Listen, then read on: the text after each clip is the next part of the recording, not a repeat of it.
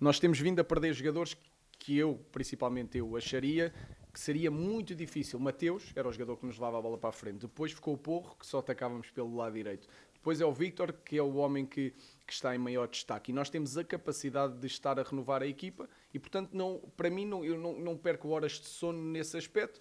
Perdi antigamente porque havia sempre aquela, aquela ideia que nós teríamos que vender, digamos assim, como clube para sobreviver. Neste momento não há isso. Há, há pagar a cláusula. E quando há pagar a cláusula, os jogadores têm que ir embora. Uh, vão para outros campeonatos e, temos, e arranjaremos solução. Vamos manter a nossa política. Tivemos esse, esse, esse problema e temos esse problema das competições serem agora, mas temos que, que, pensar não só agora, mas também no futuro. Portanto, esses jogadores não serão. Não haverá reforços para substituir esses jogadores porque é apenas um mês. O que poderá haver é um acerto, um, um, acerto no plantel a pensar no presente e no futuro.